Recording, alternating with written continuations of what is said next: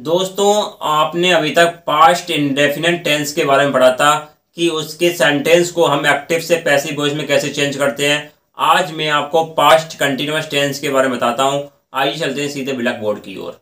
Number five past continuous tense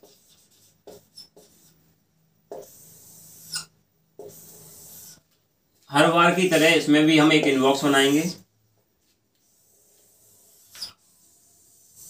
उसको दो भाग में डिवाइड करेंगे। पहला भाग होगा active voice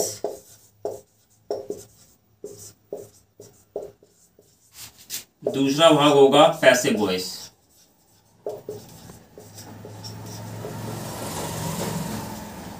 number one active voice की सहायक क्रिया प्रेजेंट सॉरी पास्ट कंटिन्यूस में होती है, बाजवर।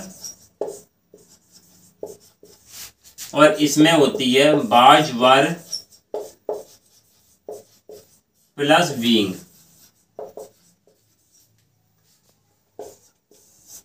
क्रिया होती है इसमें, क्रिया की फोर्थ फॉर्म और इसमें होती है, क्रिया की थर्ड फॉर्म अब चलते हैं सीधे स्ट्रक्चर की ओर।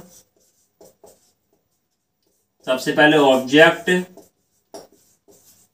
plus was were plus being plus क्रिया की third form plus RPS plus by plus subject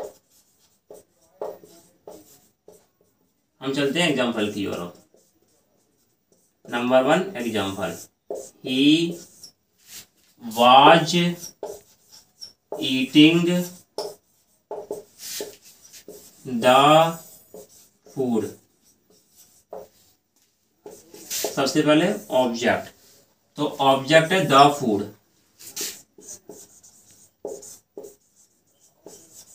was की were was wing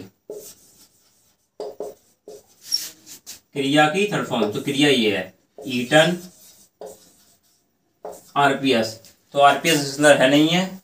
Y subject ई का him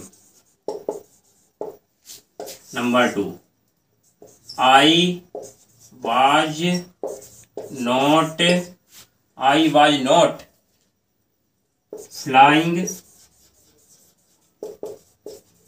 the kite सबसे पहले ऑब्जेक्ट तो द काइट वाज की बार वाज नॉट बींग बार भी थर्ड फॉर्म तो फ्लोन आरपीएस है नहीं है। वाई का वाई सब्जेक्ट आई है तो आई का me number three interrogative sentence was, he, cut, the, apple. Question mark सबसे पहले ऑब्जेक्ट तो ऑब्जेक्ट नहीं आएगा इस बार। हमें चाहिए साइक्रिया साइक्रिया हमारी क्या है? वाज. ऑब्जेक्ट क्या है? The apple. तो क्या आएगा? वाज. फिर ऑब्जेक्ट द एप्पल, विंग का विंग, क्रिया की थर्ड फॉर्म क्रिया है कट। कट की तीनों फॉर्म कट होती हैं। आरपीएस है नहीं है, वाई का वाई, सब्जेक्ट ही ही का हिम। और क्वेश्चन मार्क का question mark. Number four. Why, was, she, why was she drink the milk